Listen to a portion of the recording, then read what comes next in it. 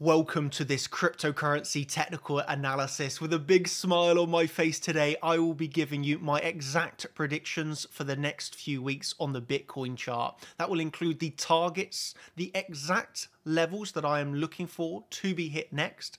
I will let you know already, I am back bullish. This is, of course, after we have just seen that fake out of the symmetrical triangle, which, of course, I did short. Uh, we were, you know, looking at this symmetrical triangle now for the past few weeks, right? And we were prepared for the rise out of that before the fake out quick drop back down, which we predicted would liquidate millions of traders on the 1st of January. A few days later, we got the fake out, we got the very quick move down, and a lot of traders, unfortunately, uh, you know, that didn't understand what a fake out is, were buying the top and, and got liquidated. Of course, we were able to take advantage of that and actually shorted prior to that 10% move to the downside.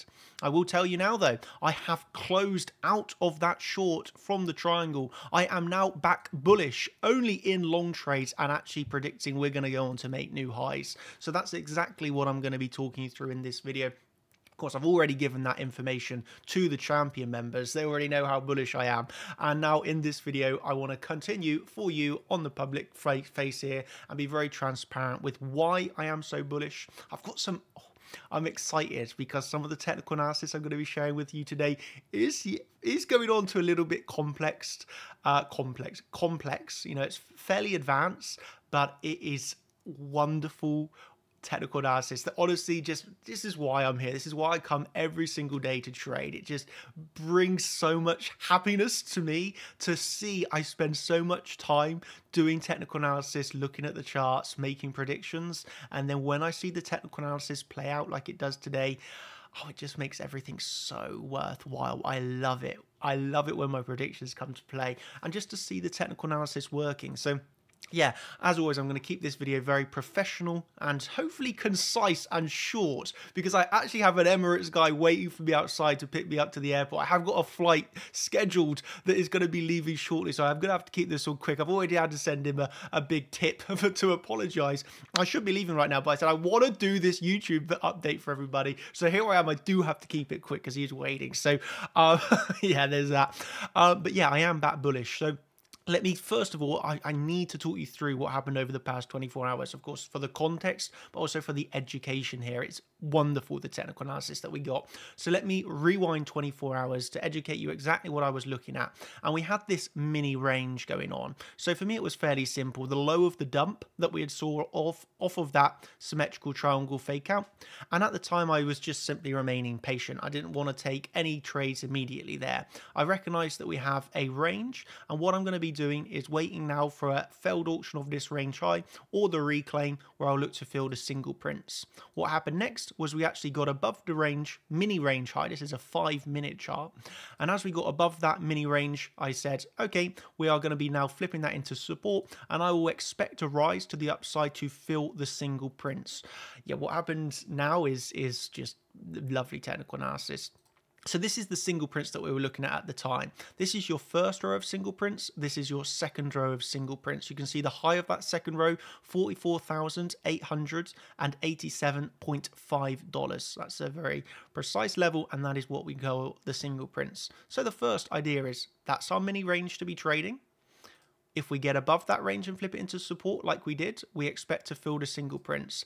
What happens next? We go up here and we get this rise to the upside. And the exact level that we find resistance is from that first row of single prints on the high. And we're talking about to the dollar, right? And here we get a little bit of a pullback.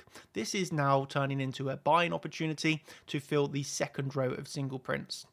Okay, and now I just want to show you where we topped out at last night. So you can see on these highs here, okay, when we come back over to the single prints on the TPO chart, just look at this, 44,887.5 was the top of that single print row and then where we topped out for the selling tail from yesterday's price action 44,887.5 okay so we're talking about very precise fill of those single prints which is what we were looking for, right?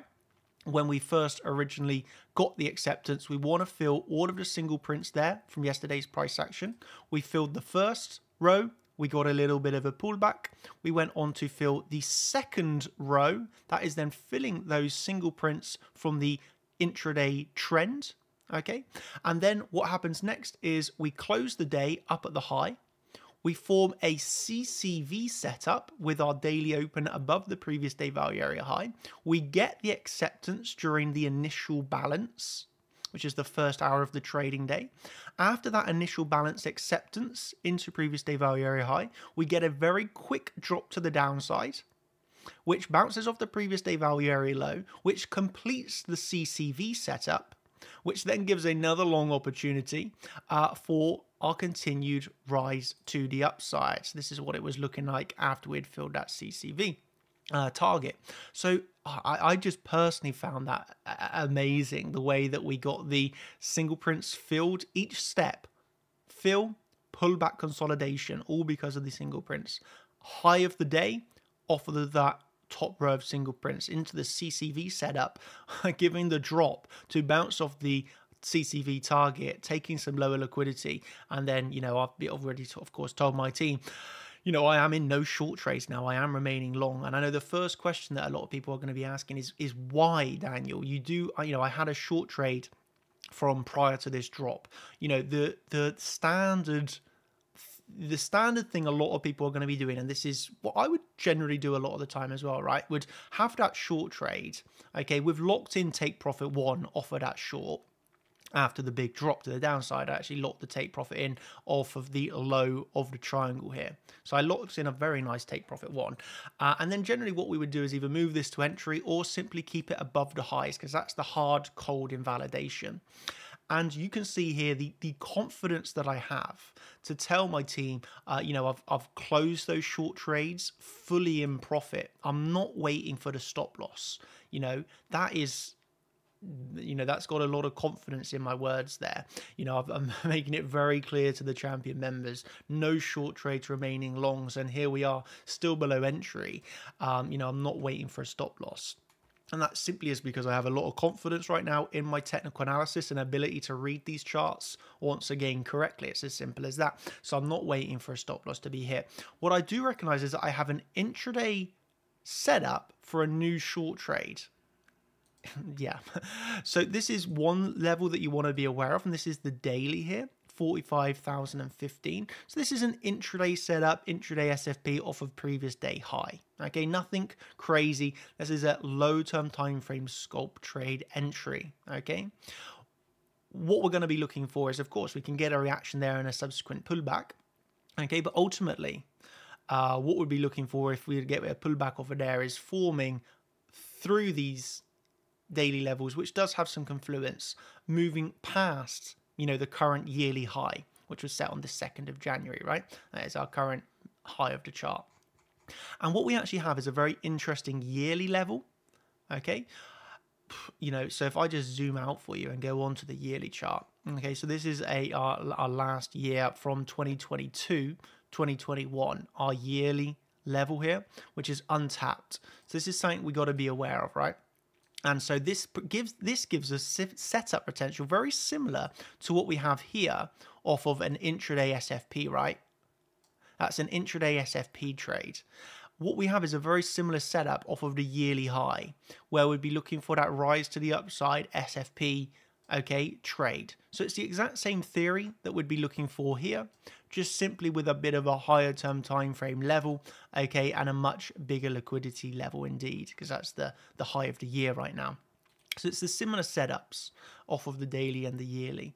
I think you will and you know, I think I've made it very clear what I'm looking for, and I am absolutely bullish, and and I would much prefer to see new highs, new yearly highs. So you know, I, am aware that this is a this is a level, and hey, if I get a reaction, you know, I'll, I'll, take a short trade, but more from an intraday quick trade perspective, right? I'd look to lock in a take profit one, for example, at the VWAP.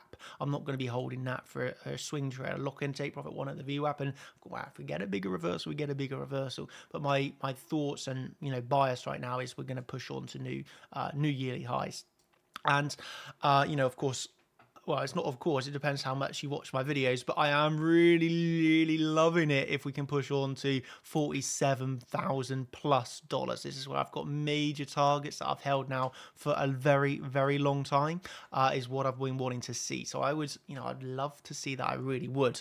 Um, just a reminder, uh, before I move on to what I would class as the invalidations of these trades, uh, that what I'm doing in these videos, what I do every single day when I'm going into the group, when I'm posting my analysis, when we're talking about theories such as CCV setup, when we're analyzing the order flow, okay, when we're looking at the TPO charts, everything that I use to take my trades, that the coaches use to take their trades, is taught in chart champions. Okay so you can come along to here and you see can see the course from beginner to master. Everything that we cover everything that we trade with is taught with the theory. Where you have the full theory set up for you in the video. And you of course have rundowns in the timestamps of exactly what's going on there. And then you have the speed run version, which is that hour long video cut down into 10 15 minutes so you can go through quickly. That is what we at Chart Champions are focused on. It is the education, it's getting you up to a level of trading where you can do this on yourself. You are not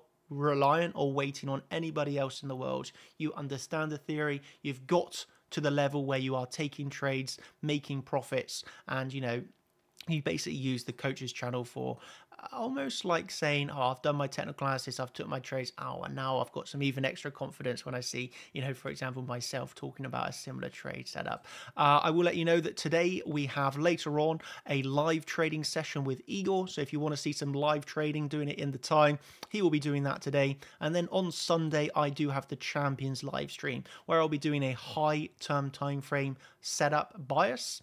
Okay, where I'll go through the charts on a very large time frame for the swing trades generally going to be covering their Bitcoin, Ethereum, the stock market, S&P 500, the DXY, and some higher term time frame altcoin picks that I like for those you know swing trade setups for the long term. So that will be on sunday and then of course we're back to our normal schedule next week every single day live stream updates with you know combining that in with altcoin updates etc etc the standard um you know what we do every single week. uh, so, yeah, if that's of interest to you, if you really want to succeed and make some wonderful life changing profits, as well as just educating yourself on a needed skill, I would say, in 2024, learn to trade. Best place to do it, Chart Champions, and we'll be more than happy to have you along in the community and really help you succeed in the very best place there is. So that sounds interesting, you know, where you can get more of me and the other wonderful coaches that we have. Thank you. And now let's move on to yeah the invalidations of these trades. So as mentioned, I am bullish. I am I'm definitely long and not in any shorts here. So the intraday shorts, as mentioned, we have that daily level. We have that yearly level or intraday triggers off of like SFP type moves from the previous day high and the yearly high onto the yearly level. uh, I have the bigger target sat from 47, which is our previous range point of control, up to $50,000. These are key, key levels. Of course, we have just above $52,000. That's for another video, uh, not for this YouTube one. Uh, that's what I'll cover on Sunday's Champions live stream, basically. So, in terms of invalidation, we're going to have to look down here and say to ourselves, where are we wrong? Where am I wrong?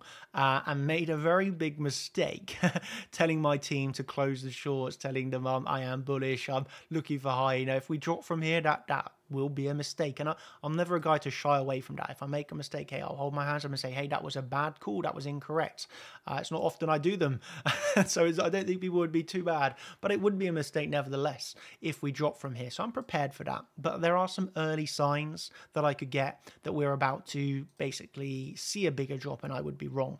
Uh, first of all, of course, previous, well, the current range really that we're in, losing the value area. If we lose this, then it's very likely that we can come on to fill down the wicks that we're forming here onto our lower naked point of controls. And I think you all know for the bigger one, we got the monthly naked point of control down here. We do have some nice confluence that are weekly as well. So for me, it would be losing that value area low. I would have to say to my team, hey, I'm very sorry on that, but I was incorrect on the call. Uh, we are not going to be even hitting our daily level.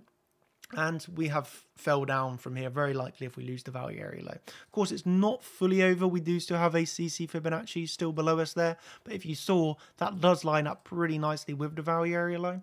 Okay, so if I just pull it there, you know, we can see it's got in, in that little bit of a zone. So if we're losing that into the CC, that's where it's like, okay, I was incorrect on, on closing my shorts and looking to long this dip from the CCV setup. Okay, but as of sta- as it stands right now, I have no reason to believe that we have not got any um, order flow here that I would consider bearish. We are getting some longs opening up here, but we are still maintaining the uptrend, which is for me right now absolutely fine. Those longs are in profit. Okay, we haven't got the bearish CVD right now. So for me, everything is looking healthy for continuation. Again, we could hit that daily and get a bit of a pullback. That's an intraday setup. But for right now, I am looking for higher. I do think we go to at least that daily. From here, we can check the reaction. And of course, we got a big yearly level and then the even bigger point of controls above us, which for me are absolutely major targets. And, you know, I'd love to see that hit. So yeah, I'm actually going back home today. So I'm going to be catching a flight to Dubai. Um, so I've, yeah, I've been away for Christmas just to see some family and friends. Going back home though. Uh, so yeah, I really need to not keep this Emirates guy waiting anymore. and uh, yeah, next time you see me, we'll be back home set up in Dubai. So thank you ever so much, everybody. Hope you have really enjoyed this video. If you have, you know what to do. Hit the like button, leave a comment down below to show your love and appreciation. I read every single one and it always brings me a lot of joy to see that we're helping out. So yeah, thank you from the bottom of my heart. Hope you really enjoy 2024. If you want to see me every single day of the week, you know where to get me over at chartchampions.com. This video is going to be a little bit delayed uh, simply because, yeah, I'm going to literally run out right now. Uh, but I will have this on the laptop and I'll upload it uh, on the road or maybe on the plane. I'll see. Uh, but nevertheless, hope you've enjoyed. Thank you ever so much. And I will catch you over inside of the Discord. Thank you. Cheers. And that's me signing out. Goodbye.